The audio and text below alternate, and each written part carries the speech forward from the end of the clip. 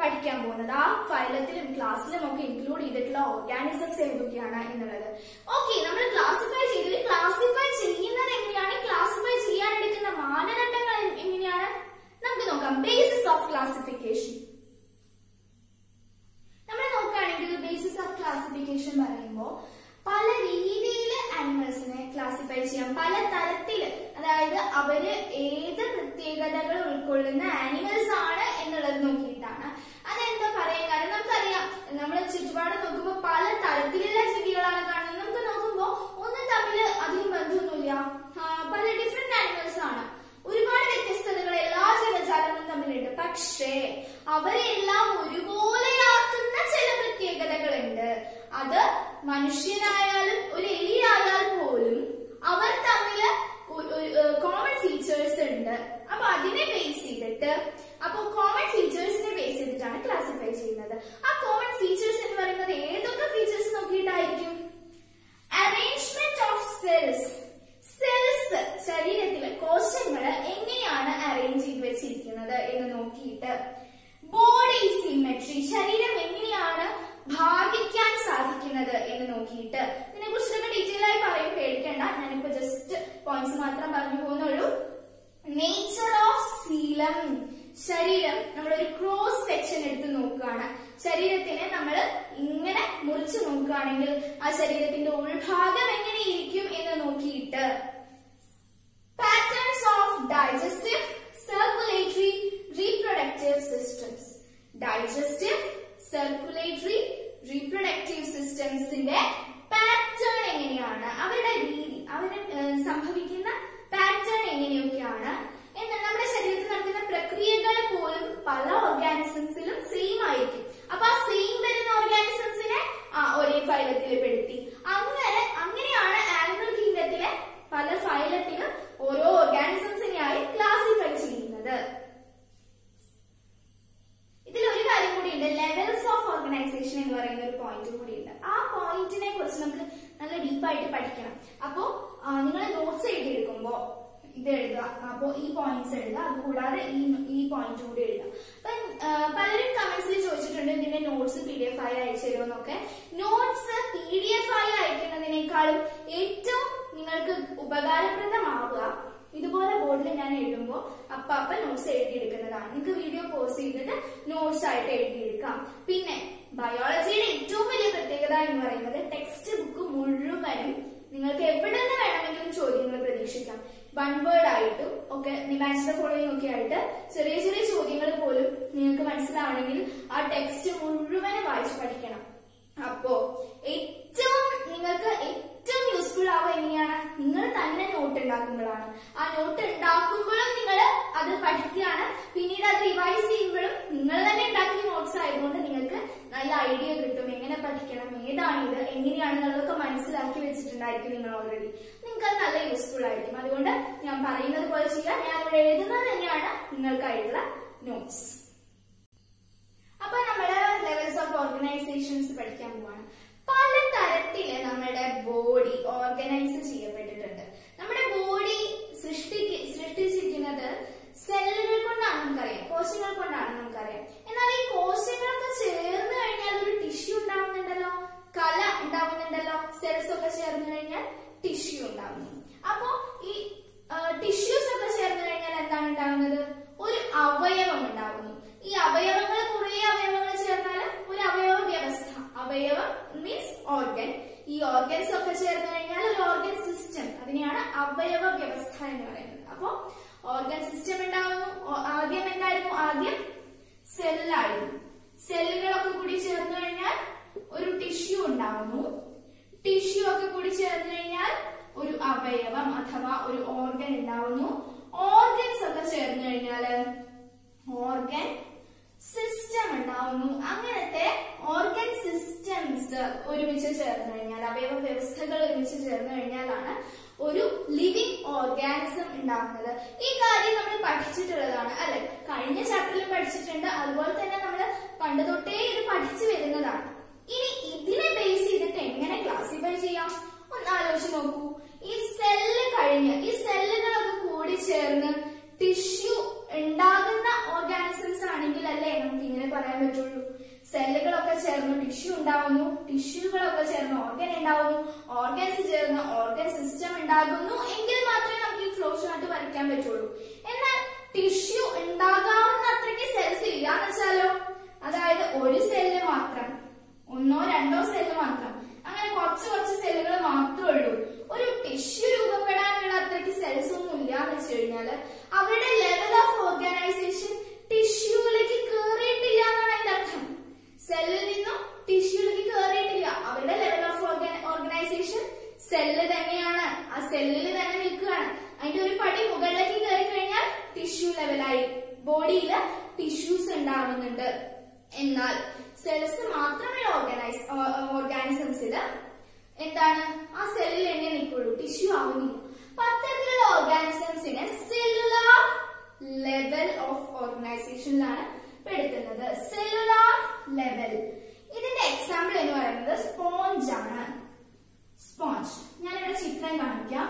ഈ സ്പോഞ്ച് എന്ന് പറയുന്നത് കടലിലൊക്കെ ഉള്ള ഒരു ജീവിയാണ്. അതിനെ കുറിച്ചിട്ട് നമ്മൾ കൂടുതൽ പഠിക്കും. ഫൈലങ്ങൾ പഠിക്കുന്നതിൽ ഫൈലം പൂരിഫറ. പൂരിഫറ എന്ന് പറയുന്ന ഒരു ഫൈലത്തിലാണ് സ്പോഞ്ച് പെടുന്നത്.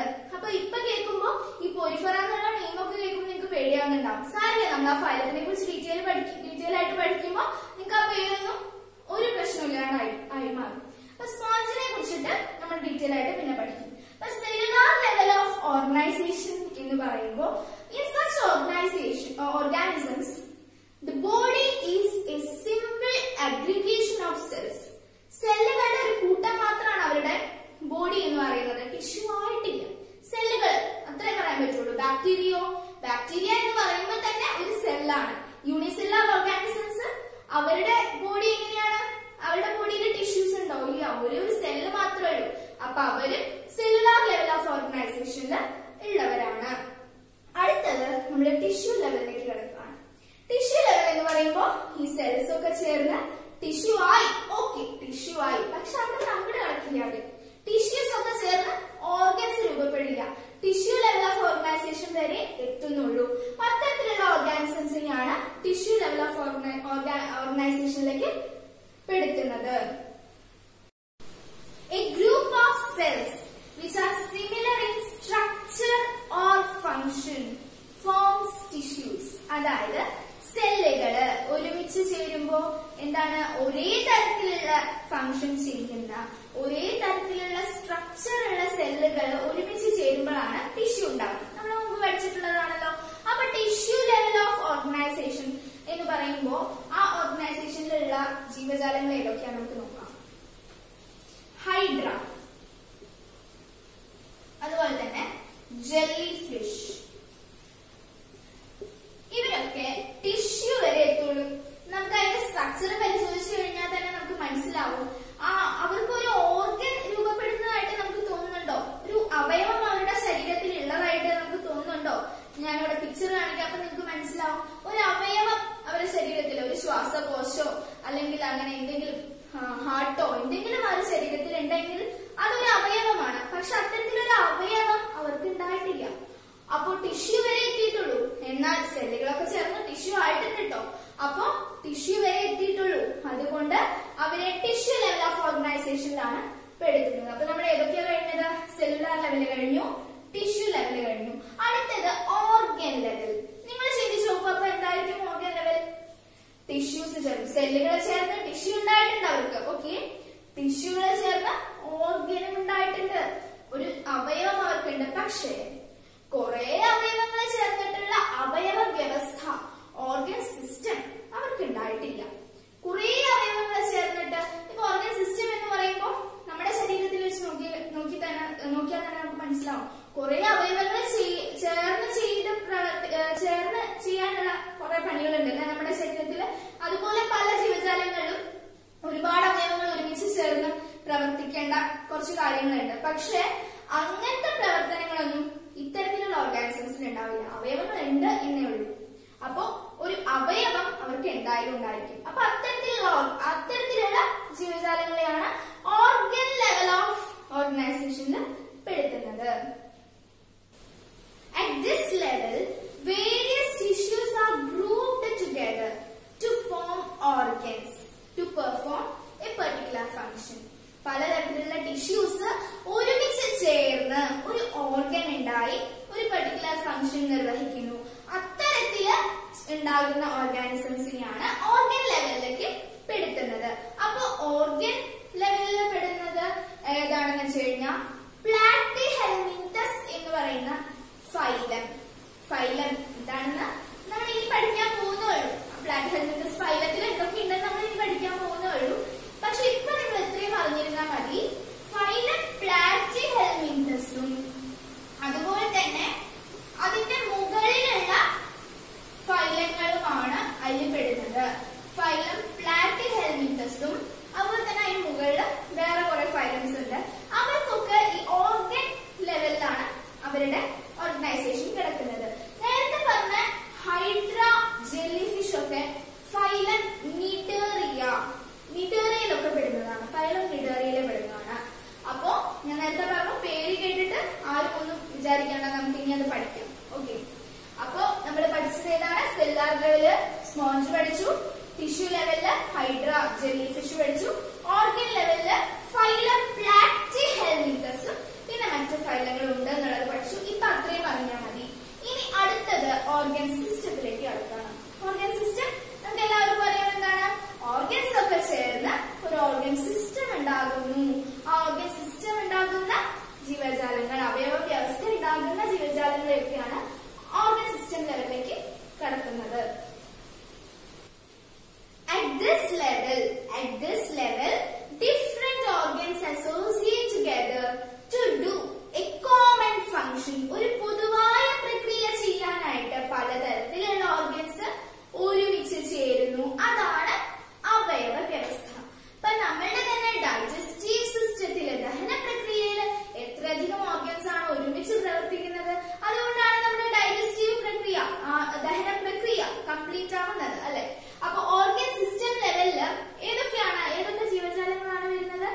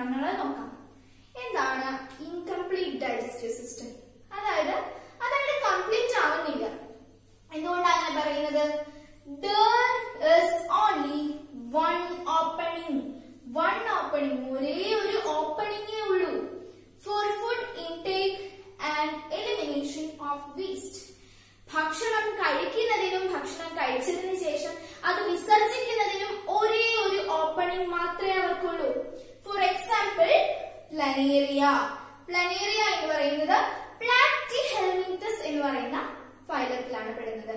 പ്ലാറ്റി ഹെൽമിന്തസ് എന്ന് പറയുമ്പോൾ പ്ലാറ്റി എന്ന് പറയുമ്പോൾ ഫ്ലാറ്റ് എന്നാണ് അർത്ഥം.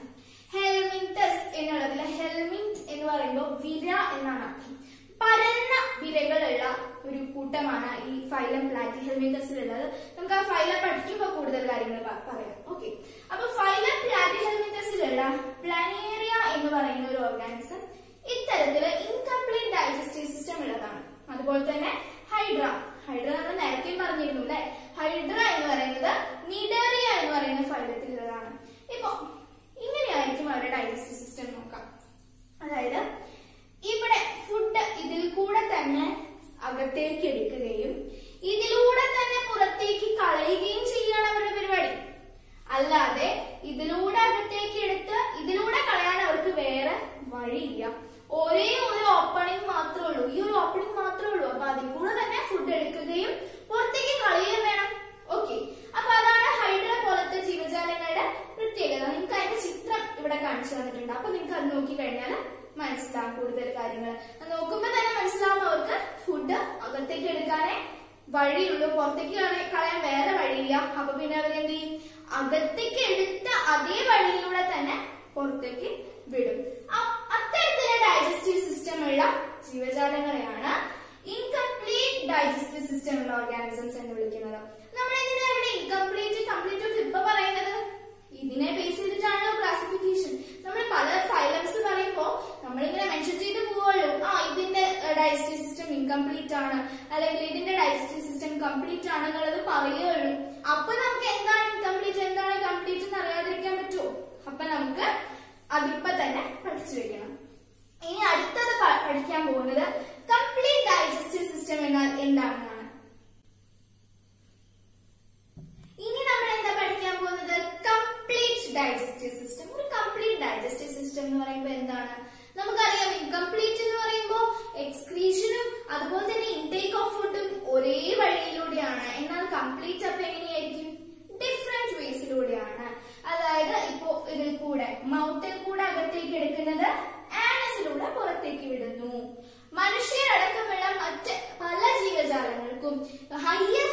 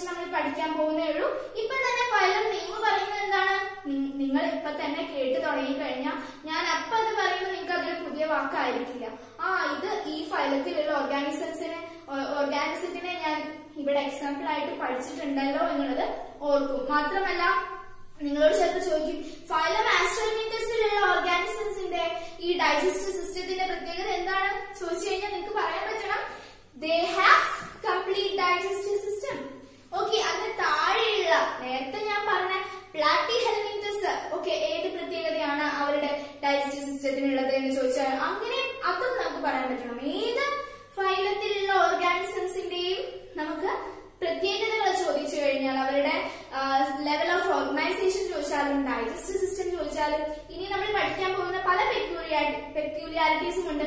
അത് ചോദിച്ചാൽ എന്ത് ചോദിച്ചാലും നിങ്ങൾക്ക് ആ അത് ഇന്നതാണ് എന്ന് പറയാതാവണം അതിനാണ് നമ്മളിപ്പോ ശ്രമിച്ചുകൊണ്ടിരിക്കുന്നത് അതോടൊപ്പം തന്നെ ഞാൻ നേ- ഏഹ് നേരത്തെ പറഞ്ഞത്തെ ഒരു നിങ്ങൾ തെറ്റിദ്ധരിക്കാവുന്ന ഒരു കാര്യം പറയട്ടെ ആസ്കാരിസ് എന്ന് പറയുന്നത് ആസ്ട്രോമിന്തസ് എന്ന് പറയുന്ന ഫൈലത്തിൽ പെടുന്നതാണ് ആസ്കാരിസിന് ഞാൻ മണ്ണിര പോലെ എന്നാണ് പറയുന്നത് എന്ന് വെച്ചിട്ട് മണ്ണിര എന്ന് പറയുന്നത് ആസ്ട്രോമിന്തസിലല്ല പെടുന്നത് മണ്ണിര അനലിഡയിലാണ് പെടുന്നത് ഫൈലം അനലിഡയിലാണ് പെടുന്നത് തെറ്റിദ്ധരിക്കരുത്. ആ മണ്ണിരയുടെ ഫൈലത്തിന് തൊട്ട് മുൻപുള്ള ഫൈലത്തിലാണ് ഈ ആസ്കാരിസ് പെടുന്നത്.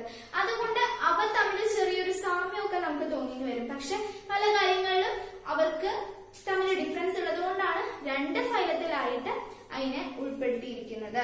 അപ്പൊ നമുക്ക് സർക്കുലേറ്ററി സിസ്റ്റത്തിന്റെ കാര്യം നോക്കാം. നമ്മൾ ഏതാ നോക്കിയത്? ഡൈജസ്റ്റീവ് സിസ്റ്റം അല്ലെ? ഡൈജസ്റ്റീവ് സിസ്റ്റം രണ്ട് തരത്തിലുണ്ടെന്നാണ് നമ്മൾ പറഞ്ഞല്ലോ. ഇനി നമ്മൾ സർക്കുലേറ്ററി സിസ്റ്റം ഏതൊക്കെ തരത്തിലുണ്ടെന്ന് നോക്കാം.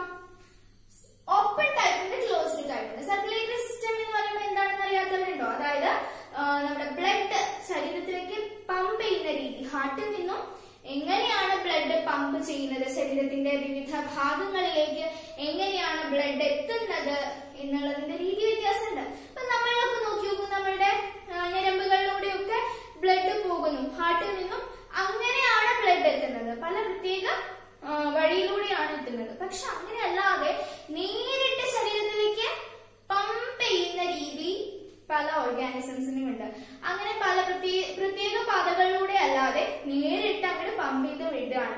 അപ്പോ ശരീരത്തിലത്തെ ഓർഗൻസ് ഒക്കെ ഇങ്ങനെ ചോരയിൽ മുങ്ങി കുളിച്ച് നിൽക്കും എന്ന് വേണമെങ്കിൽ നമുക്ക് പറയാം. അപ്പൊ അത്തരത്തിൽ ഉള്ള circulatory സിസ്റ്റത്തിനെയാണ് open type of circulatory system എന്ന് പറയുന്നത് ഓപ്പൺ ടൈപ്പ് പേര് കേട്ടാൽ തന്നെ നമുക്കറിയാലോ ഓപ്പൺ ആണ്. ഓപ്പൺ ആയിട്ട് ബ്ലഡ് അങ്ങോട്ട് പമ്പ് ചെയ്ത് വിടുകയാണ് ചെയ്യുന്നത്.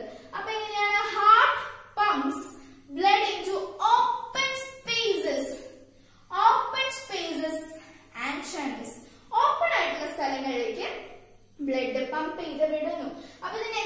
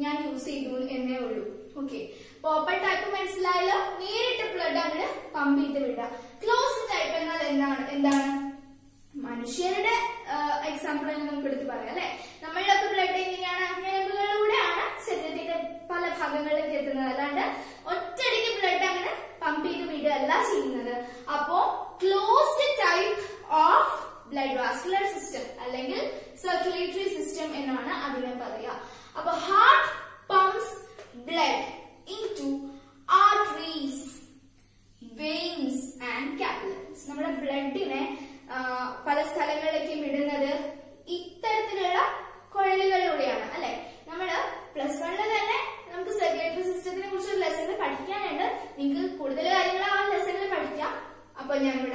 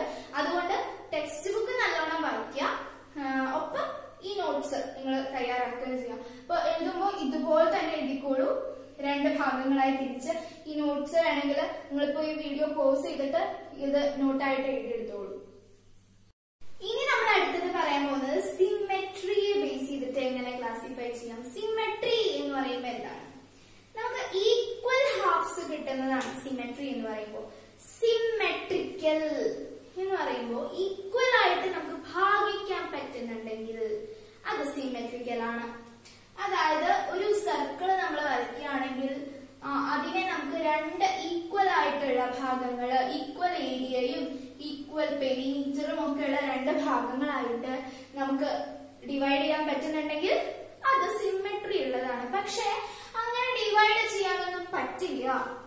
ഇപ്പൊ ഇങ്ങനെയുള്ള ഒരു ഓർഗാനിസം ആണെന്ന് വിചാരിക്കുക. ഇങ്ങനത്തെ ഓർഗാനിസത്തിനെ നമുക്ക് എങ്ങനെ ഡിവൈഡ് ചെയ്യാൻ പറ്റും? ഇങ്ങനെ രണ്ടായി ഡിവൈഡ് ചെയ്താലും ഇവിടെയുള്ളതും ഇവിടെയുള്ളതും എക്സ്ട്രീംലി ഡിഫറെന്റ് ആയിട്ടുള്ള രണ്ട് ഭാഗങ്ങളാണല്ലോ.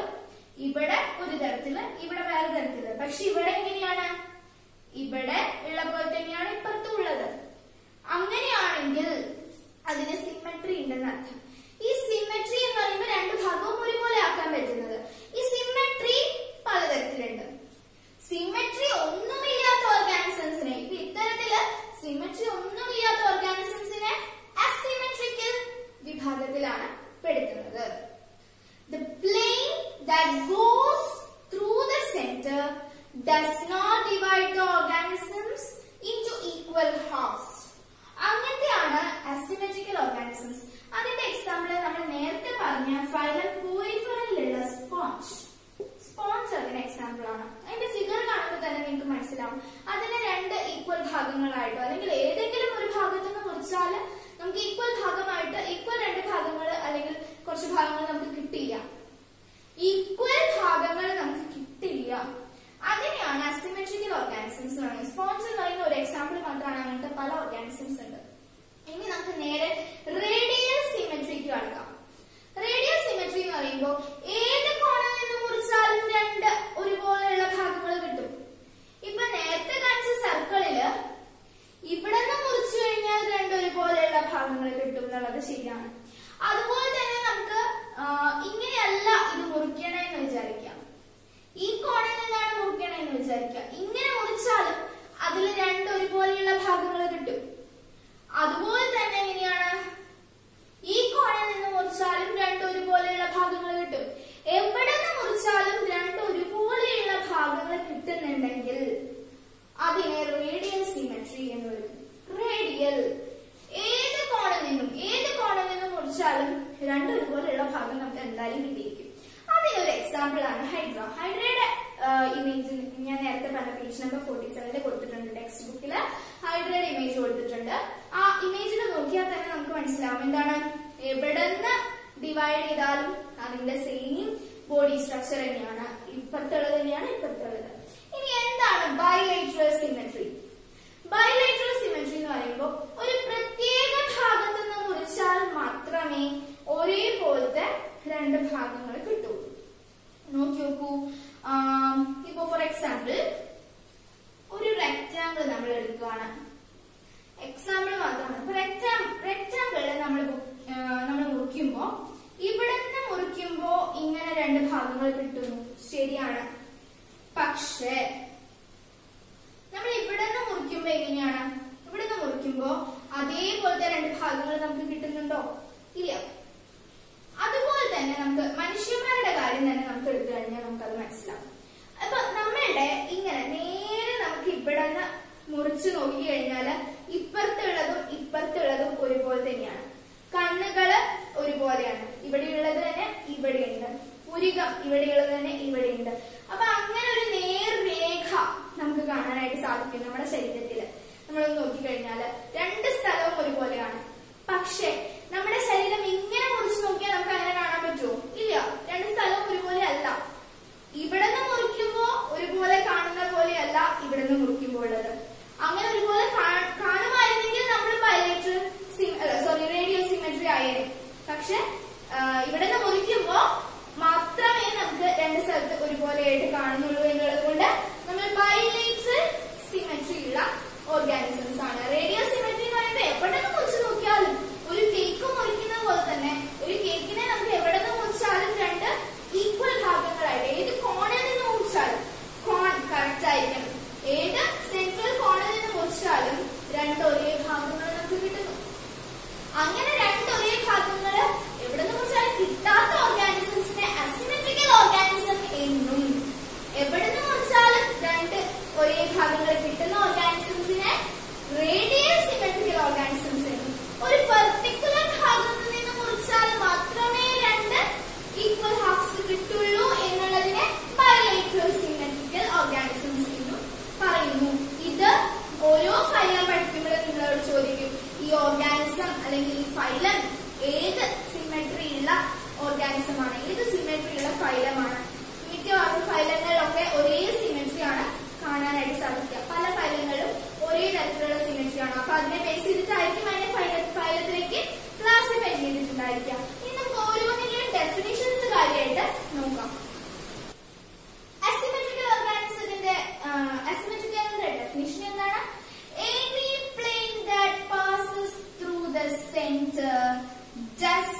Now divide them into two equal halves.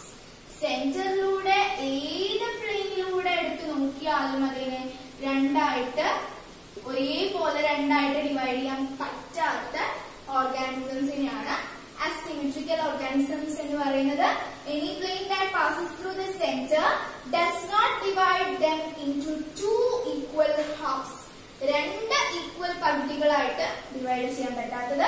അതിന് എക്സാമ്പിൾ നമ്മൾ നേരത്തെ പറഞ്ഞു സ്പോഞ്ചസ് ആണ്. ഇനി നമുക്ക് ഇതിൽ ചെറിയൊരു തിരുത്തൽ വരയ്ക്കാൻ മാത്രം മതി. Any plane that passes through the centre divide them into two equal halves അതിനെയാണ് നമ്മൾ എന്ത് പറയുന്നത്? റേഡിയൽ സിമെട്രി എന്ന് പറയുന്നത്. Radial symmetry. അതായത് സെന്ററിലൂടെ ഏത് പ്ലെയിൻ പോയാലും ഈക്വൽ ആയിട്ട് ഡിവൈഡ് ചെയ്യില്ല എന്നാണല്ലോ നമ്മൾ അസിമെട്രിക്കൽ ഓർഗാനിസംസിനെ പറഞ്ഞത്. പക്ഷെ റേഡിയോ സിമെട്രി എന്താണ്? സെന്ററിലൂടെ ഏത് പ്ലെയിൻ പോയാലും അതിനെ ഈക്വൽ ആയിട്ട് ഡിവൈഡ് ചെയ്യുന്നു. രണ്ട് ഈക്വൽ ഭാഗങ്ങളായിട്ട് ഡിവൈഡ് ചെയ്യുന്നു എങ്കിൽ ദാറ്റ് ഇസ് റേഡിയൽ സിമെട്രി അപ്പോ അതിന് എക്സാമ്പിൾ നമ്മൾ ഏതാ പറഞ്ഞത്? Hydra വരൂല്ലേ Hydra Any plane that passes through the center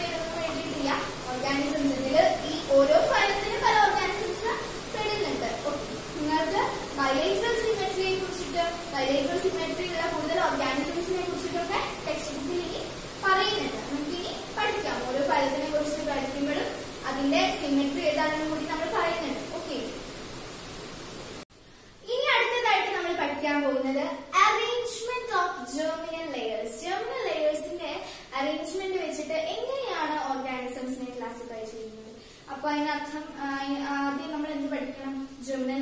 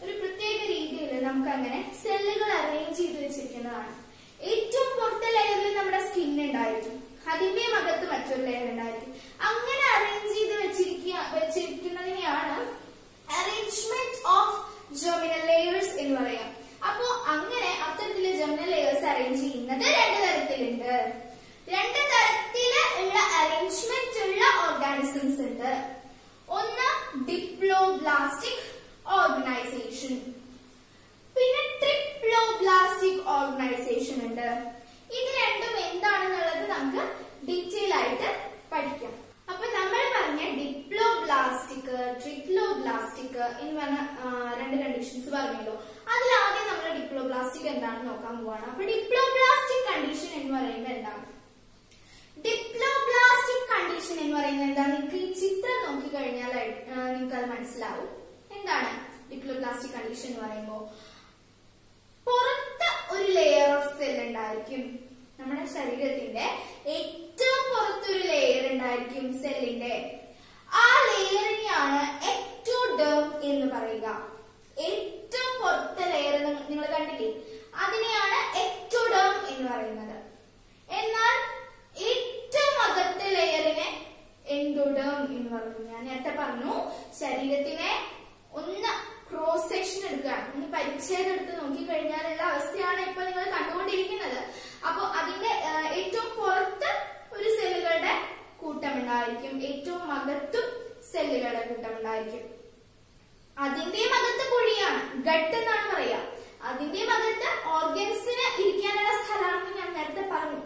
അപ്പൊ ഇതിന്റെ രണ്ടിന്റെയും ഇടയിൽ. പുറത്തെ എക്ടോഡേമിന്റെയും അകത്തെ എൻഡോഡേമിന്റെയും ഇടയിലായിട്ട് ഒരു ലെയർ നിങ്ങൾ ശ്രദ്ധിച്ചു? ഒരു കുഞ്ഞു ലെയർ അതിനെയാണ് മീസോഗ്ലിയ എന്ന് പറയുന്നത്. അവിടെ സെല്ലുകളല്ല മീസോഗ്ലിയ എന്ന് പറയുന്നത് നോൺ സെല്ലുലാർ ലെയർ ആണ്.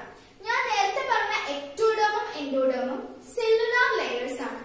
അവയിൽ എന്തുണ്ട്? സെല്ലുകളുണ്ട്. പക്ഷേ മീസോഗിലയിൽ എന്തില്ല? സെല്ലുകൾ ഇല്ല. പക്ഷേ നമുക്ക് സെൽ ലൈക്ക് സ്ട്രക്ചേഴ്സ് കാണാനായിട്ട് സാധിക്കും. സെല്ല് പോലെയൊക്കെ നമുക്ക് തോന്നാം. അതിലത്തെ സ്ട്രക്ചേഴ്സ് കാണുമ്പോൾ സെല്ല് പോലത്തെ ആയിട്ടാണ് നമുക്ക് തോന്നുന്നത്. സെൽ ലൈക്ക് ലെയർ എന്ന് നമുക്ക് പറയാം അതിന്. സെൽ ലൈക്ക് ലെയർ എന്ന് പറയാം. എന്നാൽ ഔട്ടർ എക്ടോഡമോ ഇന്നർ എൻഡോഡമോ എന്താണ്? സെല്ലുലാർ ലെയേഴ്സ് ആണ്. ഇതിന്റെ രണ്ടിന്റെയും ഇടയിലുള്ള ഈ മീസോഡമിന്റെ പ്രത്യേകത എന്താണെന്ന് അറിയോ? അത് കുറച്ച് വാട്ടറി ആണ്. ജെല്ലി ലൈക്ക് സബ്സ്റ്റൻസ് ആണ് ഈ മീസോക്ലിയയിൽ ഫിൽ ചെയ്തിരിക്കുന്നത്. കുറച്ച് എന്താണ്? വെള്ളം പോലത്തെയാണ് ആ, അതിലുള്ളത്. കുറച്ച് വെള്ളം പോലെയുള്ള ജെല്ലി പോലെയുള്ള ആ, സ്ഥലമാണ് ഈ മീസോഗ്ലിയ എന്ന് പറയുന്നത്. അപ്പൊ ഇങ്ങനെയുള്ള കണ്ടീഷനുള്ള ഓർഗാനിസംസ് ഏതൊക്കെയായിരിക്കും? ഹൈഡ്ര അതുപോലെ തന്നെ ജെല്ലി ഫിഷ് അങ്ങനത്തെ ചെറിയ ചെറിയ ഫൈലങ്ങളിലുള്ള ഓർഗാനിസംസ് ആണ്. ഇങ്ങനെ ഈ പറഞ്ഞ ഡിപ്ലോപ്ലാസ്റ്റിക് കണ്ടീഷനുള്ള ഓർഗാനിസംസ് അവയിൽ ഇത്രയേ ഉള്ളൂ. രണ്ട് ലെയേഴ്സേ ഉള്ളൂ. അതുകൊണ്ടാണ് ഇവിടെ ഡിപ്ലോപ്ലാസ്റ്റിക് കണ്ടീഷൻ എന്ന് പറയുന്നത്. ഡി ഡിപ്ലോപ്ലാസ്റ്റിക് കണ്ടീഷൻ രണ്ട് ലെയേഴ്സ് ആണ് അതിനുള്ളത് ഡൈ ഡി ഐ എന്ന് പറയുമ്പോൾ ഡൈ അല്ലെങ്കിൽ നമ്മൾ വാക്കിൽ വായിക്കുമ്പോൾ ഡിപ്ലോപ്ലാസ്റ്റിക് എന്ന് പറയും. അങ്ങനെ രണ്ട് ലെയേഴ്സ് ഉള്ളതുകൊണ്ടാണ് അങ്ങനെ പറയുന്നത്. അങ്ങനെയാണെങ്കിൽ ട്രിപ്ലോബ്ലാസ്റ്റിക്കിൽ എങ്ങനെയായിരിക്കും ട്രീ ട്രൈ മൂന്ന് ലെയേഴ്സ് ഉണ്ടായിരിക്കും. ഡിപ്ലോബ്ലാസ്റ്റിക് കണ്ടീഷന്റെ ഡെഫിനേഷൻ നമുക്ക് നോക്കിയാലോ. Body wall contains two cell layers രണ്ട് സെൽ ലെയറുകളാണ് സെല്ല് കൊണ്ട് നിർമ്മിതമായിട്ടുള്ള രണ്ട് ലെയർ ആണുള്ളത്. ഇടയിലത്തെ മിസോഗിയ കൂട്ടില്ല കേട്ടോ. കാരണം എന്താണ്? അതിൽ സെല്ല് ഇല്ല. സെല്ലുകൾ അല്ല. അതിലുള്ളത്. അപ്പൊ അത് നോൺ സെല്ലുലാർ ലെയർ ആണ്. അപ്പോ body wall contains two cell layers two അതുകൊണ്ടാണ് ഇവിടെ ഡിപ്ലോ പ്ലാസ്റ്റിക് എന്ന് പറയുന്നത് ഡൈ എന്ന് പറയുമ്പോ ടു അപ്പൊ നിങ്ങൾ ശ്രദ്ധിക്കുക പല സ്ഥലത്തും ഈ ഡൈ വെച്ച് തുടങ്ങുന്ന വാക്കുകളൊക്കെ ഉണ്ട്. അങ്ങനെയുള്ളതിന്റെ ഒക്കെ അർത്ഥം എന്താണ്? അല്ലെ എവിടെയെങ്കിലും ഒരു ടു കിടക്കുന്നുണ്ടായിരിക്കും. രണ്ട് ലെയറുകളോ അല്ലെങ്കിൽ രണ്ട് എണ്ണമുള്ള എന്തെങ്കിലും അവിടെ ഉള്ളത് കൊണ്ടായിരിക്കും അവിടെ ഡൈ എന്ന് പറഞ്ഞു എന്ന് വെച്ച് തുടങ്ങുന്നത്. അപ്പൊ body wall contains two cell layers, outer ectoderm. നേരത്തെ ഞാൻ കാണിച്ചു ഏറ്റവും പുറത്തുള്ള എക്ടോഡോം എന്ന് പറയുന്ന ഒരു ലെയർ ഏറ്റവും പുറത്ത് ഇങ്ങനൊരു ലെയർ ഉണ്ടായിരിക്കും. ഏറ്റവും പുറത്ത് ഞാനിപ്പോ കറക്റ്റ് റൗണ്ട് അല്ല വരച്ചിരിക്കുന്നത് എന്നാൽ നിങ്ങൾക്ക് മനസ്സിലാകാൻ ശരിയാണ്. ഏറ്റവും പുറത്തൊരു ലെയർ ഉണ്ടായിരിക്കും. പിന്നെ എന്താണ്? ഇന്നർ എൻഡോഡേം ഇന്നർ എൻഡോഡേം എന്ന് പറയുമ്പോ ഏറ്റവും അകത്ത് ഈ ഒരു ഭാഗം ഒരു ലെയർ ആയിരിക്കും. ഏറ്റവും അകത്ത് ഒരു ലെയർ ഉണ്ടായിരിക്കും. ഇങ്ങനെ. ഏറ്റവും പുറത്ത് ഇവിടെ ഒരു ലെയർ ഉണ്ടായിരിക്കും. എന്നാൽ ഇതിന്റെ രണ്ടിന്റെയും ഇടയിലുള്ള ഈ ലെയറിനെയാണ് എന്ത് പറയുന്നത്? മീസോഗ്ലിയ എന്ന് പറയുന്നത്. ഏറ്റവും പുറത്തെ ലെയർ അതിന് പുറമെ ഏറ്റവും അകത്ത് വേറൊരു ലെയർ ഈ അകത്തെ ലെയറിനും പുറത്തെ ലെയറിനും ഇടയിൽ ഒരു ലെയർ ഉണ്ടായിരിക്കും. ആ ലെയറിനെയാണ് എന്ത് പറയുന്നത്? മീസോഗ്ലിയ എന്ന് പറയുന്നത്. അപ്പോ in between these layers there is a cellular layer mesoglea a cell like layer cell like layer cell പോലത്തെ ലെയർ ആണ് which is water rich and jelly like അതിൽ വെള്ളം കൂടുതലാണ്. അതായത് ഈ പുറത്തെ എന്താണ് എൻഡോഡേമിന്റെയും അകത്തെ എൻഡോഡേമിന്റെയും ഇടയിൽ വെള്ളം കൂടുതലുള്ള ഒരു ലെയർ ഉണ്ട്. അതിലെന്താണ്? ജെല്ലൈക്കാണ് ആ ലെയർ എന്ന് പറയുന്നത്. സെല്ലില്ല. ഏറ്റവും പുറത്തെ ലെയറിനും അകത്തെ ലെയറിലും എന്തുണ്ട്? സെല്ലുണ്ട്. പക്ഷെ രണ്ടിന്റെയും ഇടയിലുള്ള ലെയറിന് സെല്ലില്ല. അപ്പോ ഇതിന് എക്സാമ്പിൾ ആയിട്ടുള്ളത് ഏതൊക്കെയാണ്? നിഡേറിയ ടീനോഫോറ ഇത് രണ്ടും ജീവികളുടെ പേരല്ല. നിഡേറിയ എന്ന് പറയുന്നത് ഒരു ഫൈലമാണ്. ടീനോഫോറ എന്ന് പറയുന്നത് മറ്റൊരു ഫൈലമാണ് അപ്പോ നമ്മൾ നേരത്തെ പറഞ്ഞിരുന്നു നീഡറിൽ പെടുന്നതാണ് മറ്റേ ഹൈഡ്ര അങ്ങനത്തെ ഉള്ളതൊക്കെ ടീനോഫോറയിൽ പെടുന്നത് സി വാൽനട്ട് അതൊക്കെയാണ് നമ്മൾ പഠിക്കും. ഇനി നമ്മൾ ഫൈലങ്ങളെ കുറിച്ച് കൂടുതൽ പഠിക്കുമ്പോൾ നമ്മൾ അതിനെ കുറിച്ചിട്ടൊക്കെ പറയും. ഓക്കെ അപ്പൊ അതാണ് ഡിപ്ലോബ്ലാസ്റ്റിക് കണ്ടീഷൻ. ഇനി ഒന്ന് ശ്രദ്ധിച്ചു കേൾക്കണം. ഇപ്പൊ നമ്മൾ പറഞ്ഞു മൂന്ന് ലെയർ ഉണ്ട്. ഏറ്റവും പുറത്ത് എക്ടോഡോം. നടുക്കിൽ ഒരു മീസോഗ്ലി ഉണ്ട് അതിന്റെ ഏറ്റവും ഉള്ളിൽ എന്തുണ്ട്? എൻഡോഡോം ഉണ്ട് ഇതാണ് ഡിപ്ലോബ്ലാസ്റ്റിക് കണ്ടീഷൻ ഓക്കെ? ഇനി ഈ മീസോഗ്ലിയയിൽ സെല്ല് ഇല്ല എന്ന് നമ്മൾ പറഞ്ഞു. നോൺ സെല്ലുലാർ ലെയർ ആണെന്ന് പറഞ്ഞു. പക്ഷെ ഈ മീസോഗ്ലിയയിൽ സെല്ല് ഉണ്ടെങ്കിലോ? അതൊരു സെല്ലുലാർ ലെയർ ആണെങ്കിലോ? നമുക്ക് എത്ര ലെയർ കിട്ടി? സെല്ലുലാർ ലെയറുകൾ മൂന്ന് ലെയറുകൾ കിട്ടി. ഏറ്റവും പുറത്തൊരെണ്ണം അതിന്റെ അടുത്തത് ഒരെണ്ണം ഏറ്റവും ലാസ്റ്റ് ഏറ്റവും ഉള്ളിൽ ഒരെണ്ണം. മൂന്ന് ലെയർ എക്ടോഡോമിന്റെയും എൻഡോഡോമിന്റെയും നടുക്കിൽ ഒരു പുതിയ ലെയറിനെ നമുക്ക് സ്വന്തമായിട്ട് കിട്ടി. ആ ലെയറിന്റെ പേരെന്താണ്? മീസോഡേം മീസോഡേം അപ്പോ മീസോഗ്ലിയ എന്ന് നമ്മൾ പറഞ്ഞത് എന്താണ്? കുറച്ച് താഴ്ന്ന ഫൈലത്തിലുള്ള ഓർഗാനിസംസിനാണ് മീസോഗ്ലിയ ഒക്കെ ഉള്ളത്. ഞാൻ നേരത്തെ പറഞ്ഞ പോലെ കടലിൽ ജീവിക്കുന്ന ചില ജീവികളൊക്കെ. പക്ഷെ ഇവിടെ ഈ ഉള്ള ജീവജാലങ്ങൾ നമ്മളടക്കമുള്ള ജീവജാലങ്ങൾ ട്രിപ്ലോബ്ലാസ്റ്റിക് കണ്ടീഷൻ ആണ് അവർക്കുള്ളത്. എന്ത് കണ്ടീഷനാണ് ട്രിപ്ലോബ്ലാസ്റ്റിക് അപ്പൊ ഇവിടെ ഡൈ എന്നുള്ളതിന് പകരം ട്രൈ ആണ് ഉണ്ടാവുക ട്രൈ. മൂന്ന് ലെയേഴ്സ് ഉണ്ട്. ഏതാണ്? Outer ectoderm inner endoderm and the middle one is mesoderm നമ്മുടെ മീസോഗ്ലിയ ഡെവലപ്പ് ആയി. മീസോഗ്ലിയ ഡെവലപ്പ് ആയിട്ട് മീസോഡേം ആയി. കുറച്ചും കൂടി പുരോഗതി പ്രാപിച്ചു മീസോഗ്ലിയക്ക് സെല്ലൊക്കെ വന്നു തുടങ്ങി അല്ലേ? അപ്പൊ നമുക്ക് ട്രിപ്ലോബ്ലാസ്റ്റിക് കണ്ടീഷന്റെ ഫിഗർ നോക്കാം. ട്രിപ്ലോബ്ലാസ്റ്റിക് കണ്ടീഷന്റെ ഫിഗർ നോക്കുമ്പോൾ നിങ്ങൾക്ക് ഒന്നുകൂടി ഐഡിയ കിട്ടുന്നുണ്ടല്ലോ?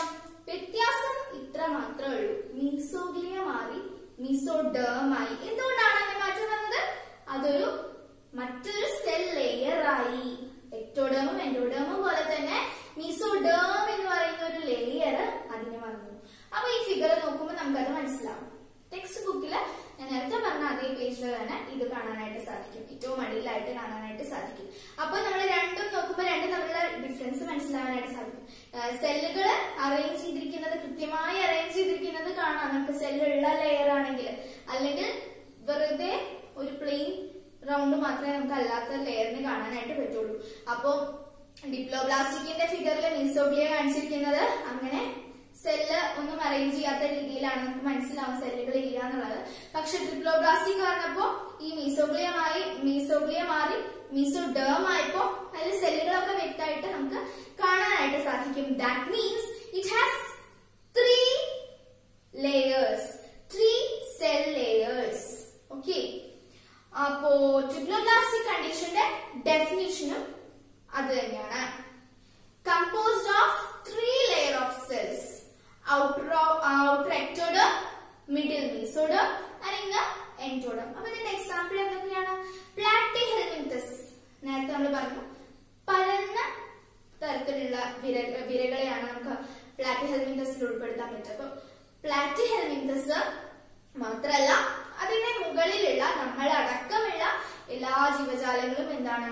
ഈ ട്രിപ്ലോബ്ലാസ്റ്റിക് കണ്ടീഷനാണ് ഒട്ടുമിക്ക ജീവജാലങ്ങളും അതിന് മുകളിലുള്ളതൊക്കെ ട്രിപ്ലോബ്ലാസ്റ്റിക് കണ്ടീഷനിലാണ് ഉള്ളത്. ഓക്കെ അപ്പൊ മനസ്സിലായല്ലോ ഡിപ്ലോബ്ലാസ്റ്റിക്കും ട്രിപ്ലോബ്ലാസ്റ്റിക്കും തമ്മിലുള്ള വ്യത്യാസം. ഡിപ്ലോബ്ലാസ്റ്റിക് ഇത്രയ്ക്ക് അങ്ങനെ വികസനം വന്നിട്ടില്ല. എന്താണ് കാരണം? നടുക്കിൽ ഒരു മീസോഗ്ലിയ മാത്രമേ ഉള്ളൂ. ആ മീസോഗ്ലിയ തന്നെ ഡെവലപ്പ് ചെയ്ത് ഡെവലപ്പ് ചെയ്ത് mesoderm ആവുന്നുണ്ടെങ്കിൽ that is triploblastic condition triploblastic condition ഉള്ള ജീവജാലങ്ങൾ നമ്മൾ അടക്കമുള്ള ജീവജാലങ്ങളാണ്. ചെറിയ ചെറിയ ഓർഗാനിസംസ് ഒന്നുമല്ല. പ്ലാറ്റിഹെൽമിറ്റസ് മുതലുള്ളവയൊക്കെ എന്താണ്? ട്രിപ്ലോബ്ലാസ്റ്റിക് കണ്ടീഷനിലാണ് മിക്കവാറും വരാറുള്ളത്. ഇനി നമ്മൾ എന്താണ് സീലം എന്ന് നോക്കാൻ പോവാണ്. സീലം എന്ന് പറയുമ്പോൾ എന്താണ്? നമ്മൾ പറഞ്ഞു മീസോഡം ഈ മീസോഡോമ ഉള്ള ഓർഗാനിസംസിനെയാണ് സീലോമേറ്റ്സ് എന്ന് പറയുന്നത്. അപ്പൊ എന്താണ്? ആ മീസോഡോം ഉള്ള ആ ബോഡി ക്യാവിറ്റി നമ്മുടെ ബോഡിയിൽ മീസോഡോം ഉണ്ടെങ്കിൽ ആ ബോഡി ക്യാവിറ്റിയെ മൊത്തം ആ ബോഡി ക്യാവിറ്റി ആ പറഞ്ഞ ക്രോസ് സെക്ഷൻ ഉണ്ടല്ലോ ആ പരിച്ഛേദം ഉണ്ടല്ലോ അതിനെ മൊത്തം എന്താണ് പറയുന്നത്? സീലോം എന്നാണ് പറയുന്നത്. സീലോം സീലോം എന്ന് പറയുമ്പോ മീസോഡമുള്ള ബോഡി ക്യാവിറ്റി മീസോഡമുള്ള ബോഡി ക്യാവിറ്റി അത്രേ ഉള്ളൂ സീലോം എന്ന് പറയുമ്പോൾ ഇനി നമ്മൾ അതിന്റെ പല തരത്തിലുള്ള കാര്യങ്ങളാണ് നമ്മൾ സീലോം ഉള്ള പല മോഡ്സ് ഉണ്ട്. അതാണ് അടുത്തത് പഠിക്കാൻ പോകുന്നത്. ആനിമൽസ് പോസസിംഗ് സീലോമാർ കോൾഡ് സീലോമീറ്റ്സ് അത് നമ്മൾ പറഞ്ഞല്ലോ. സീലോം ഉള്ള ആനിമൽസ് ആണ് സീലോമീറ്റ്സ് എന്താണ് സീലോം എന്നുള്ളത് അറിയണം? മറക്കരുത്. സീലോം എന്ന് പറയുമ്പോൾ മീസോഡോം ഉണ്ടെങ്കിൽ അത് സീലോം ആണ്. ആ ക്യാവിറ്റി നമ്മൾ നേരത്തെ പറഞ്ഞ പോലെ മീസോഗ്ലി അല്ലാണ്ട് മീസോഡേം ഉണ്ടെങ്കിൽ അത് സീലോമേറ്റ് ആണ്. എന്നാൽ അസീലോമേറ്റ് ഉണ്ട്. നേരത്തെ പറഞ്ഞ പോലെ മീസോഡേം ഇല്ല. പുറത്ത് ആ പുറത്ത് എക്ടോഡേമ അകത്ത് എൻഡോഡേമ നടുക്കിൽ മീസോഡേം ഇല്ല എന്ന് വെച്ച് കഴിഞ്ഞാൽ അത് അസീലോമീറ്റ്സ് ആണ്. അവർക്ക് സീലം ഇല്ല നമുക്ക് പറയാം. ഇനി നമുക്ക് ഈ സീലമുള്ള ആനിമൽസ് ഏതൊക്കെയാണ് നമുക്ക് നോക്കാം. എന്താണ്? അനലിറ്റ്സ് മോളുസ്ക്സ് ആർത്രോപോഡ്സ് എക്കൈനോഡേംസ് ഹെർമിക്കോഡിക്സ് കോഡിക്സ് ഇതൊക്കെ ഒരു ഫൈലം വെച്ചിട്ട് പറയാണ്. അപ്പോ അതായത് അനലിഡ എന്ന് പറയുന്ന ഫൈലത്തിലുള്ള ഓർഗാനിസംസിന് അനലിഡ്സ് എന്നും മൊളുസ്ക എന്ന് പറയുന്ന ഫൈലത്തിലുള്ള ഓർഗാനിസത്തിന് ഓർഗാനിസംസിനെ മൊളുസ്ക്സ് എന്നും അതുപോലെ തന്നെ ബാക്കിയെല്ലാം അങ്ങനെയാണ്. ഓരോ ഫൈലത്തിലുള്ള ഓർഗാനിസംസിനെ സ്പെഷ്യൽ ആയിട്ട് ഇങ്ങനെ വിളിക്കുന്നു മാത്രം. ഇനി എന്താണ് ഈ സിലോമിക്സിന്റെ പ്രത്യേകത? ഈ സിലോം എന്ന് പറയുമ്പോൾ കറക്റ്റ് ആയിട്ട് എന്താണ് നോക്കാം. അതായത് ഈ പറഞ്ഞ പോലെ പുറത്ത് എക്ടോഡോം ഉണ്ട് ഓക്കെ പുറത്ത് എക്ടോഡോം ഉണ്ട്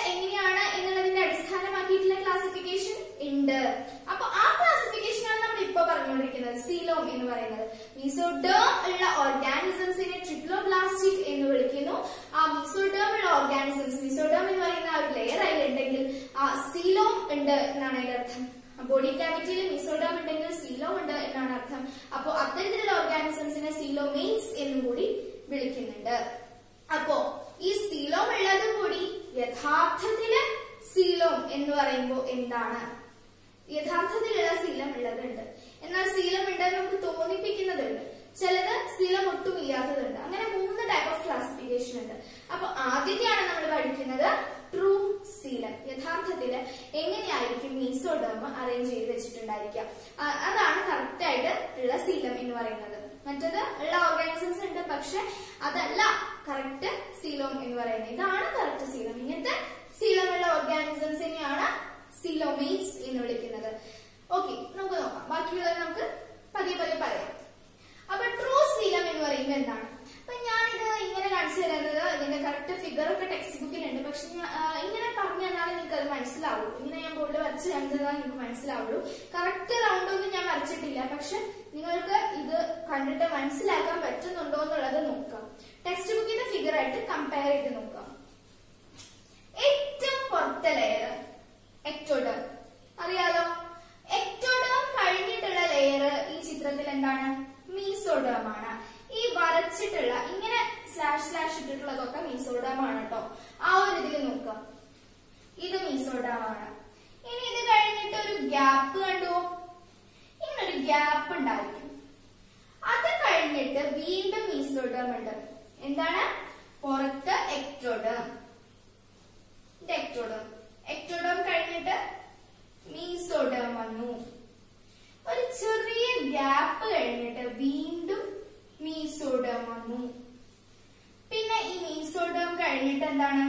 ഇതിന്റെ ഉള്ളിൽ എന്തായിരിക്കും? മീസോഡം കഴിഞ്ഞ എന്താന്ന് നമുക്കറിയാലോ? എക്ടോഡം മീസോഡം പിന്നെ അകത്ത് എന്താണ്? എൻഡോഡം. അപ്പോ ഈ ഡോട്ട് ഡോട്ട് ആയിട്ട് ഞാൻ ഇട്ടിരിക്കുന്നത് എൻഡോഡം ആണ്. ഞാൻ ഇതിവിടെ എഴുതി നിങ്ങൾക്ക് കൺഫ്യൂഷൻ ആക്കുന്നില്ല. നിങ്ങൾക്കത് ഈ പിക്ചർ ഒന്ന് ക്ലിയർ ആവാനായിട്ടാണ്. അപ്പൊ ഇത് എൻഡോഡം ഏറ്റവും പുറത്തുള്ളത് എക്ടോഡം ഞാൻ ഒന്നും ചെയ്തിട്ടില്ല എക്ടോഡമിൽ നിങ്ങൾ ചെയ്യുമ്പോൾ നിങ്ങൾ നോട്ട്ബുക്കിൽ വരയ്ക്കുമ്പോൾ ഇത് വരച്ചെടുക്കണം. കാരണം പരീക്ഷയ്ക്ക് വരയ്ക്കാൻ ചോദിക്കുമെന്ന് നമുക്ക് പറയാൻ പറ്റില്ല. അപ്പോൾ നോട്ട്ബുക്കിൽ വരച്ചെടുക്കുമ്പോൾ പ്രത്യേകം നോക്കുക. പുറത്തുള്ളത് എക്ടോഡമിന് ഒരു കളർ കൊടുക്കുക. മീസോഡമിന് വേറൊരു കളർ കൊടുക്കുക. മീസോഡം ഇവിടെ മാത്രമല്ലല്ലോ ഇവിടെ ഉണ്ടല്ലോ.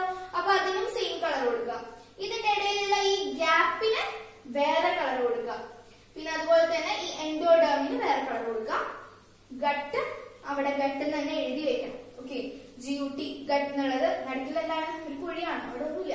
കുഴിയാണ്. അപ്പൊ ഗട്ട് എന്നുള്ളത് എഴുതി വെക്കാം. അപ്പൊ ഇതാണ് യഥാർത്ഥത്തിലുള്ള ഒരു സീലത്തിന്റെ സ്ട്രക്ചർ ഇതായിരിക്കണം മീസോഡമുള്ള സീലോമീറ്റ് എന്ന് നമ്മൾ പറയുന്ന ഒരു ആനിമലിന്റെ സ്ട്രക്ചർ ഇതായിരിക്കണം. അതിന്റെ ഓർഗനൈസേഷൻ ഇങ്ങനെ ആയിരിക്കണം സീലത്തിന്റെ ഓക്കെ അപ്പൊ ട്രൂ സീൽ എന്ന് പറയുമ്പോൾ എന്താണെന്ന് പഠിച്ചല്ലോ? ഇനി. അപ്പൊ ഇത് സീലോമേറ്റ് ആനിമൽസിന്റെ കണ്ടീഷൻ കണ്ടീഷൻ ആണ്. അപ്പൊ നമ്മളുടെ ക്ലാസിഫിക്കേഷൻ എങ്ങനെയാണ്? സീലോമേറ്റ്സ് ഉണ്ട്. സ്യൂഡോ സീലോമേറ്റ്സ് ഉണ്ട്. അതുപോലെ തന്നെ അസീലോമേറ്റ്സ് ഉണ്ട്.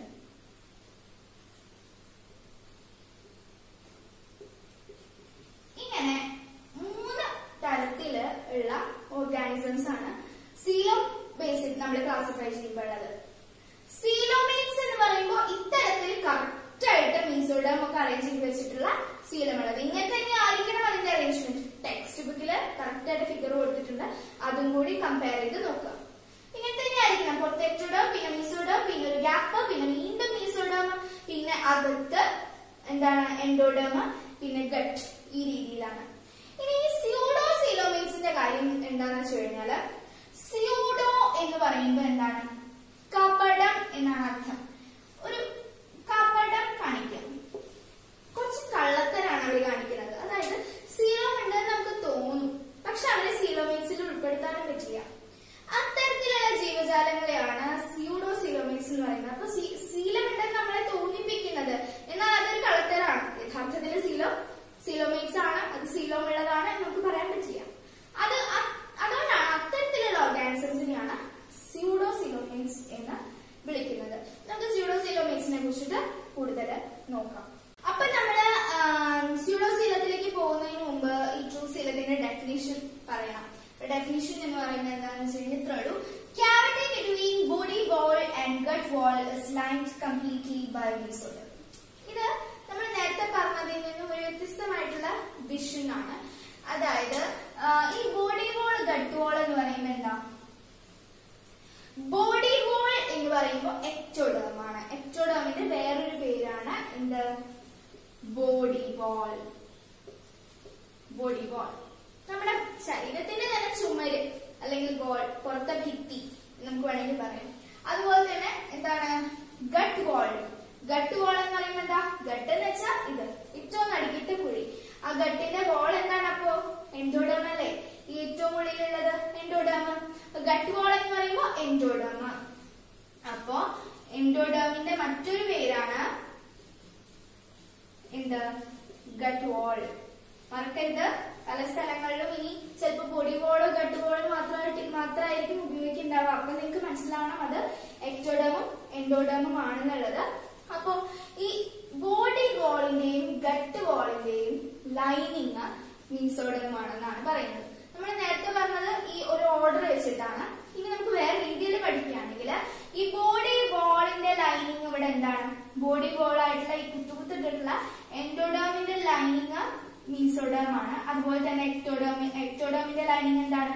അതും മീസോഡം എൻഡോഡോമിന്റെ ലൈനിങ്ങും മീസോഡം എക്ടോഡോമിന്റെ ലൈനിങ്ങും മീസോഡം അപ്പോ cavity between body wall and gut wall അപ്പോ ഈ ബോഡി വോൾ എന്ന് പറയുന്ന എക്ടോഡേമും അതുപോലെ തന്നെ ഇതിപ്പോ എക്ടോഡേം ആണെന്ന് വിചാരിക്കുക.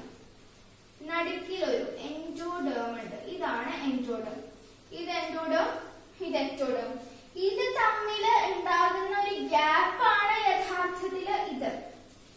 ഈ എക്ടോഡേമും എൻഡോഡേമും തമ്മിൽ ഉണ്ടാകുന്ന ഒരു ഗ്യാപ്പാണിത്. ആ ഗ്യാപ്പിന്റെ ലൈനിങ് ആണ് സത്യത്തിൽ ഈ മീസോഡോം എന്ന് പറയുന്നത്. ലൈനിങ് മാത്രമാണ് ഈ മീസോഡോം എന്ന് പറയുന്നത്. ഈ പറയുന്ന വര വര ഇട്ടിട്ടുള്ളത്. ശരിക്കും എന്താണ്? അവിടെ എൻഡോഡോമും എക്ടോഡോമും തമ്മിലുള്ള ഒരു ഗ്യാപ്പ്. അതാണ് ഇത്. ഈ ഗ്യാപ്പിന് എന്തുണ്ട്? മീസോഡോം എന്ന് പറയുന്ന ഒരു ലൈനിങ് ഉണ്ട് എന്ന് മാത്രം. അപ്പോ ഈ ഗ്യാപ്പിനെ ക്യാവിറ്റി എന്നാണ് ഇവിടെ പറയുന്നത്. ഇത്. ഇതാണ് ക്യാവിറ്റി ഈ വലിയ ഫിഗറിൽ വെച്ചാൽ ഇതാണ് cavity cavity between body wall and gut wall is line completely by mesoderm അപ്പൊ ഇത്തരത്തിലുള്ള ഒരു അറേഞ്ച്മെന്റ് നമ്മൾ ഏതിലാണ് കാണുന്നത്? ഫൈലം അന്നലിഡ അതുപോലെ തന്നെ അതിന്റെ ഹയർ ഫൈലങ്ങളിലൊക്കെ ഈ ഒരു അറേഞ്ച്മെന്റ് ആണ്. മനുഷ്യരിലടക്കം ഈ ഒരു അറേഞ്ച്മെന്റ് ആണ് കാണുന്നത്. ഈ coelom triploblastic condition diploblastic condition ഇതൊക്കെ നമുക്ക് വിസിബിൾ ആവുന്നത് എംബ്രിയോണിക് കണ്ടീഷനിൽ മാത്രമാണ് എംബ്രിയോണിക് കണ്ടീഷനിലുള്ള നമ്മളുടെ ബോഡിയുടെ അറേഞ്ച്മെന്റ് ആണ് ശരിക്കും ഇത് എന്ന് പറയുന്നത്. അപ്പോഴാണ് നമുക്ക് ഇത്രയും ക്ലിയർ ആയിട്ട് നമുക്ക് കാണാനായിട്ട് പറ്റുള്ളൂ നമ്മുടെ ഭ്രൂണാവസ്ഥയിലിരിക്കുന്ന സമയത്ത്. അപ്പൊ ഇനി നമുക്ക് സ്യൂഡോസീലത്തിലേക്ക് കടക്കാം. ഇനി എന്താണ് സ്യൂഡോസീലം എന്ന് പറയുമ്പോൾ സ്യൂഡോസീലത്തിൽ എങ്ങനെയാണെന്ന് വെച്ച് കഴിഞ്ഞാൽ ഈ ക്യാവിറ്റിയിൽ എന്താണ്? മീസോഡോ കൊണ്ട് ലൈൻ ചെയ്തിട്ടില്ല? ക്യാവിറ്റി എന്ന് പറയുന്നത് നമ്മൾ നേരത്തെ പറഞ്ഞ ട്രൂസീലത്തിൽ എങ്ങനെയാ ക്യാവിറ്റിയുടെ ബോഡി ക്യാവിറ്റി അതായത് പുറത്തെ എക്ടോഡേമും അകത്തെ എൻഡോഡേമും തമ്മിലുണ്ടാവുന്ന ഗ്യാപ്പ് അതായത് ആ ക്യാവിറ്റി മീസോഡേം വെച്ചിട്ട് ലൈൻ ചെയ്തിട്ടുണ്ട്. പക്ഷെ സ്യൂഡോസീലത്തിൽ മീസോഡേം ഉണ്ട്. എന്നാൽ അത് അങ്ങനെ ലൈൻ ചെയ്തിരിക്കുകയല്ല. സ്കാറ്റേർഡ് പൗച്ചസ് ആയിട്ട് കിടക്കുകയാണ് ചെയ്യുന്നത്. മീസോഡേം ഇങ്ങനെ പൗച്ചുകളായിട്ട് കിടക്കുകയാണ് ചെയ്യുന്നത്. ചിത്രത്തിലേതുപോലെ തന്നെ മീസോഡേം ചിത്രം നോക്കിക്കഴിഞ്ഞാൽ നിങ്ങൾക്ക് മനസ്സിലാക്കാനായിട്ട് സാധിക്കും മീസോഡേം എങ്ങനെയാണുള്ളത് എന്നുള്ളത്. അപ്പൊ പുറത്ത് ബാക്കിയൊക്കെ ഒരുപോലെ തന്നെ. പക്ഷെ മീസോഡേമിന്റെ കാര്യത്തിൽ മാത്രം. മീസോഡേം എങ്ങനെയാണ്? പൗച്ചസ് ആയിട്ടാണ് കാണപ്പെടുക. ഇനി നമുക്ക് ഇത് സീലോമേറ്റ് ആണെന്നും പറയാൻ പറ്റില്ല. സീലോ ഇല്ല എന്നും പറയാൻ പറ്റില്ല. രണ്ടും അല്ലാത്തൊരവസ്ഥയാണ് അല്ലെ? അപ്പോ അതിനെയാണ് സ്യൂഡോ സീലോമേറ്റ് ഞാൻ നേരത്തെ പറഞ്ഞു സ്യൂഡോ എന്ന് പറയുമ്പോൾ കപടമാണ് നമുക്ക് കറക്റ്റ് ആയിട്ട് പറയാനായിട്ട് പറ്റില്ല എന്നത് പറ്റിക്കുകയാണ് നമ്മൾ അല്ലെ? സീലമുണ്ടെന്ന് തോന്നിക്കുകയാണ് നമ്മൾ. കപട കപടം കാണിക്കുകയാണ്. അതുകൊണ്ടാണ് അതിനെ സ്യൂഡോ സീലോമേറ്റ് എന്ന് വിളിക്കുന്നത്. ഓക്കെ. തരത്തിലുള്ള സീറത്തിന്റെ പ്രത്യേകത മനസ്സിലാക്കിയല്ലോ ഇനി നമുക്ക് അതിന്റെ ഡെഫിനേഷൻ നോക്കാം. Between body wall and gut wall body wall means ഞാൻ നേരത്തെ പറഞ്ഞു മറക്കരുത് എക്ടോളം ആൻഡ് ഗട്ട് വാൾ എന്ന് പറയുമ്പോ എൻജോളം ഗട്ട് വാളും ബോഡി വാളും തമ്മിലുള്ള ക്യാവിറ്റി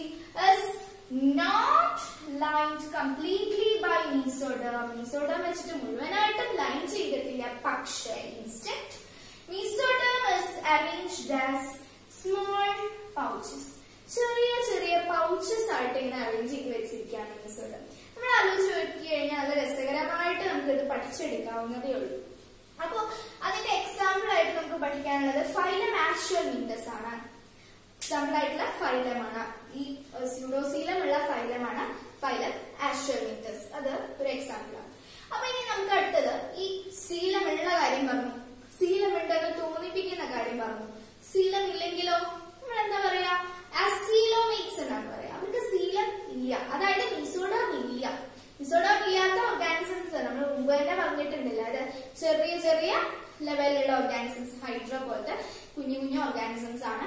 അപ്പൊ അങ്ങനത്തെ ഓർഗാനിസംസിന് എന്തില്ല മിസോഡം ഇല്ല അവർക്ക് ശീലം ഇല്ല എന്നാണ് അപ്പൊ പറയാ. മിസോഡം ഇല്ലെങ്കിൽ ശീലം ഇല്ല എന്നാണ് പറയാ. അപ്പൊ അവരെ അസിലോമേറ്റ്സ് എന്നാണ് വിളിക്കുക. അസിലോമേറ്റ്സിനെ കുറിച്ചിട്ട് നോക്കാം. ഇനി നമ്മൾ എന്താണ് അസീലോം എന്നാണ് നോക്കാൻ പോകുന്നത്. സീലം ഇല്ലാത്ത അവസ്ഥ. അതായത് മീസോഡേം ലെയേഴ്സ് ഇല്ലാത്ത അവസ്ഥ. ശരിക്കും പറഞ്ഞു കഴിഞ്ഞാൽ എക്ടോഡം ഈ ചിത്രം നോക്കുമ്പോൾ എക്ടോഡമും എൻഡോഡമും നോക്കി നോക്കൂ എക്ടോഡം അത് എൻഡോഡം അത് അതിന്റെ എവിടെയെങ്കിലും മീസോഡമിന്റെ ലൈൻ കാണാനുണ്ടോ? ഇല്ല. പക്ഷെ അവിടെ ഒന്നുണ്ടായിരിക്കും മീസോഡം സെൽസ് ഇങ്ങനെ സ്കാറ്റേഡ് ആയിട്ട് അവിടെയും ഇവിടെയും ഇങ്ങനെ കിടക്കുന്നുണ്ടായിരിക്കും. ഇതൊക്കെ മീസോഡം സെൽസ് ആണ്. പാരൻകൈമ പാരൻകൈമ സെല്ലുകളാണ് അവിടെ ഉണ്ടായിരിക്കുക. അപ്പോ മീസോഡം ലെയർ തന്നെ പാരൻകൈമ സെല്ലുകളെ കൊണ്ട് ഉണ്ടാക്കിയിട്ടുള്ളത് ആണ് ഇവിടെ അങ്ങനെ സ്കാറ്റർ ആയിട്ട് കിടക്കുന്നത്.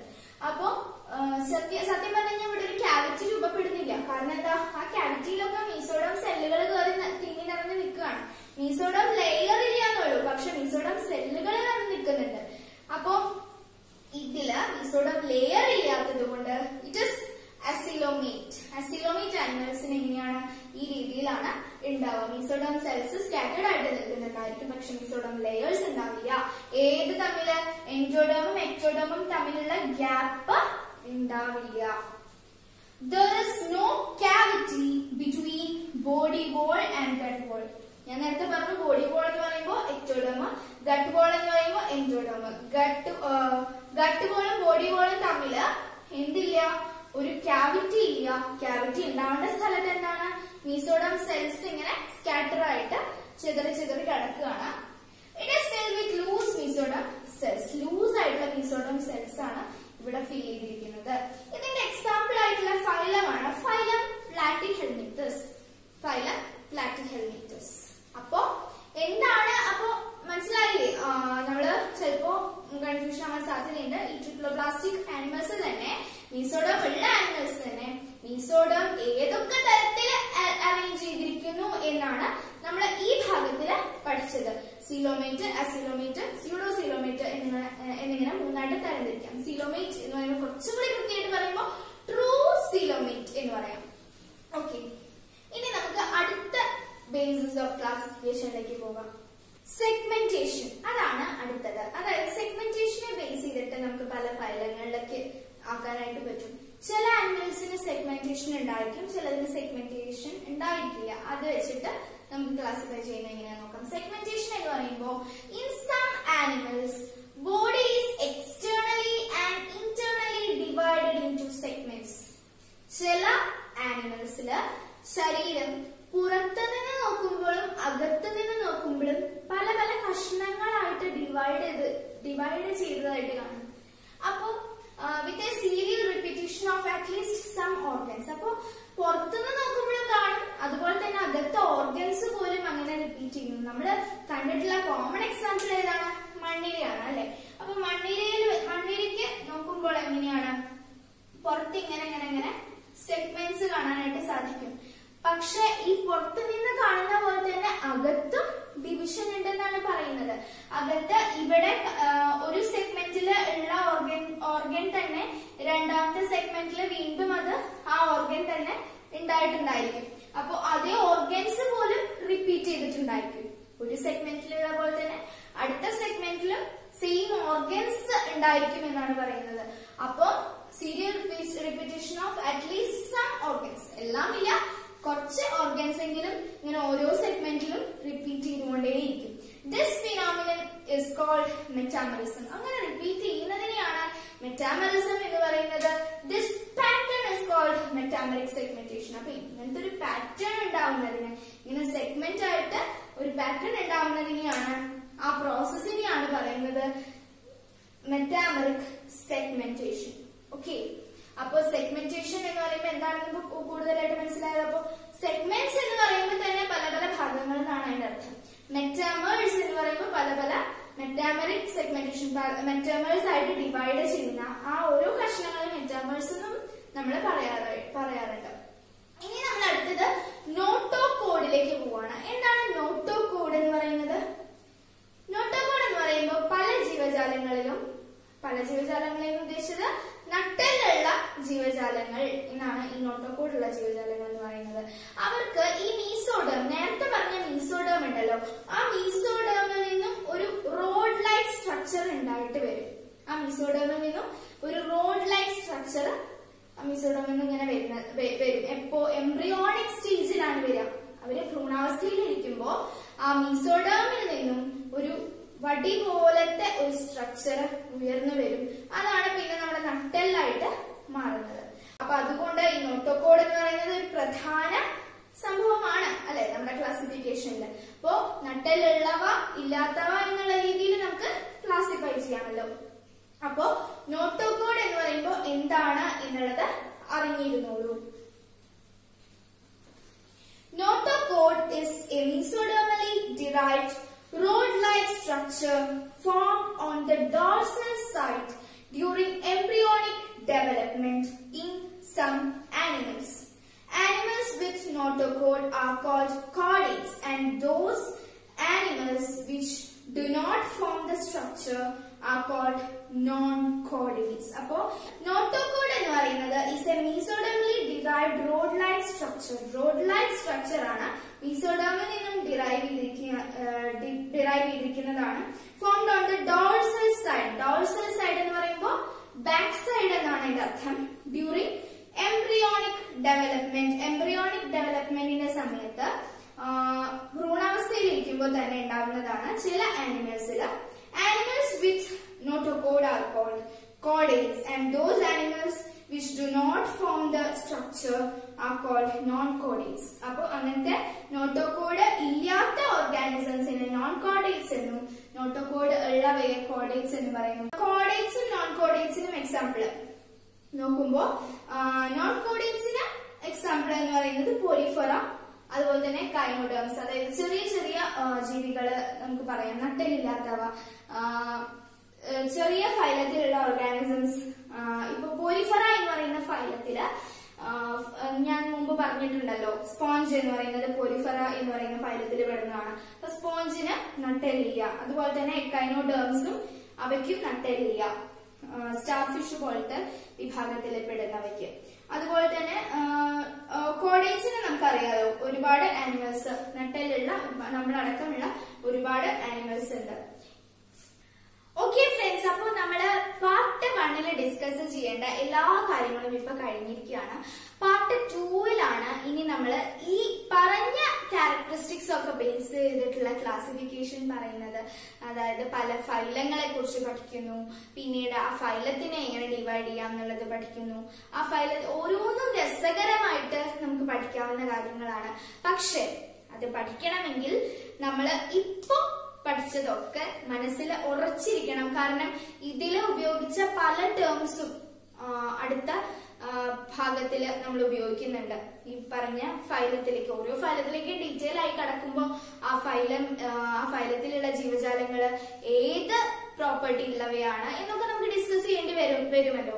സീലോമേറ്റ് ആണോ ആസിലോമേറ്റ് ആണോ അല്ലെങ്കിൽ ട്രിപ്ലോബ്ലാസ്റ്റിക് ആണോ ഡിപ്ലോബ്ലാസ്റ്റിക് ആണോ അങ്ങനെ നമ്മൾ ഇപ്പൊ പഠിച്ചിട്ടുള്ള എല്ലാ തരത്തിലുള്ള ക്ലാസിഫിക്കേഷനും ആ ജീവജാലങ്ങൾ എങ്ങനെയാണ് ആ, ഫൈലത്തിൽ ഉള്ളത് എന്നുള്ളതൊക്കെ നമുക്ക് ഡീറ്റെയിൽ ആയിട്ട് പഠിക്കണം.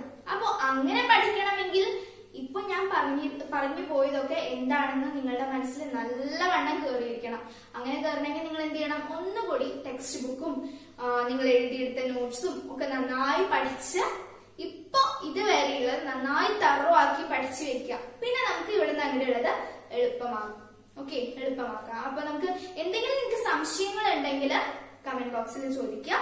ഉടനടി ഉത്തരം പറയുന്നതായിരിക്കും. അപ്പോ ഈ ചോദ്യങ്ങളൊക്കെ അല്ല ഇപ്പൊ ഈ നമ്മൾ പഠിച്ചിട്ടുള്ള കാര്യങ്ങളൊക്കെ നോട്ട്ബുക്കിൽ എന്തായാലും നിങ്ങളുടേതായിട്ടുള്ള നോട്ട്സ് ഉണ്ടാക്കി എഴുതി വെക്കണം. ചിത്രങ്ങൾ വരയ്ക്കണം മറക്കരുത്. ടെക്സ്റ്റ് ബുക്കിന്റെ ചിത്രങ്ങൾ ചിലത് കാണുമ്പോൾ ഈ അസിലോമീറ്റർ സീലോമീറ്റർ സ്യൂഡോസിലോമീറ്റർ ടെക്സ്റ്റ് ബുക്കിന്റെ ചിത്രങ്ങൾ കാണുമ്പോൾ ചിലപ്പോൾ പ്രത്യേകിച്ച് ലാസ്റ്റ് കാണിക്കുന്ന അസിലോമീറ്ററിന്റെ ചിത്രം കാണുമ്പോൾ നിങ്ങൾക്ക് ചിലപ്പോൾ കൺഫ്യൂഷൻ വരാം. അപ്പോൾ ഞാൻ വരച്ച പോലെ ഒരു ചിത്രം നിങ്ങൾ നിങ്ങളുടെ നോട്ട്ബുക്കിൽ വരച്ചു വയ്ക്കുക നല്ല വൃത്തിയിൽ വരയ്ക്കണം. അപ്പൊ അങ്ങനെ വരച്ചു വെച്ചു കഴിഞ്ഞാൽ നിങ്ങൾക്ക് പഠിക്കുമ്പോഴും ഒരു ഐഡിയ ഉണ്ടായിരിക്കും. എക്സാമിന് എങ്ങനെയാ നിങ്ങളോട് ചോദിക്കാന്ന് വെച്ച് കഴിഞ്ഞാൽ ഇപ്പൊ എക്ട്രോഡോമ എൻഡോഡോമ മീസോഡോമ എന്നൊക്കെ കാണുന്നത് ആരോ ഇട്ടിട്ട് എ ബി സി എന്നൊക്കെ എഴുതിയിട്ട് എന്താണ് എ എന്താണ് ബി എന്താണ് സി എന്നൊക്കെ ചോദിക്കും. അപ്പൊ ഇത്തരത്തിലുള്ള ആ ശീലം ഈ ശീലത്തിനെ എന്താണ് പറയുന്നത്? ട്രൂ ശീലമാണോ സീഡോ ശീലമാണോ അശീലമാണോ? അങ്ങനെയൊക്കെ നിങ്ങളോട് അതിൽ നിന്നും സബ് ക്വസ്റ്റ്യൻസ് ആയിട്ട് ചോദിക്കുകയും ചെയ്യാം. അപ്പോ നിങ്ങൾ ചെയ്യേണ്ടത് ടെക്സ്റ്റ് ബുക്കിന്റെ ഓരോ ലൈനും നന്നായി വായിച്ചിരിക്കുക. ഓക്കെ ചിത്രങ്ങൾ അടക്കം വരയ്ക്കാനായിട്ട് പഠിക്കുക. നോട്ട് നിങ്ങളുടെ സ്വന്തമായിട്ട് ഉണ്ടാക്കി വെക്കുക. അപ്പൊ ഇതുപോലെ ഇനിയും വീഡിയോസ് നിങ്ങൾക്ക് യഥാസമയം നോട്ടിഫിക്കേഷൻസ് കിട്ടാനും ഒക്കെ ആയിട്ട് ചാനൽ സബ്സ്ക്രൈബ് ചെയ്യുക. തൊട്ടടുത്തുള്ള ബെല്ലൈക്കൺ ക്ലിക്ക് ചെയ്ത് ഓൾ നോട്ടിഫിക്കേഷൻസ് എന്ന ടാബിൽ ക്ലിക്ക് ചെയ്യുക. നിങ്ങൾക്ക് ഈ വീഡിയോ യൂസ്ഫുൾ ആയെങ്കിൽ നിങ്ങളുടെ ഫ്രണ്ട്സിനും കൂടി ഷെയർ ചെയ്ത് കൊടുത്തോളൂ. അവർക്കും കൂടി പഠിക്കാനായിട്ട് എളുപ്പമാവട്ടെ. താങ്ക്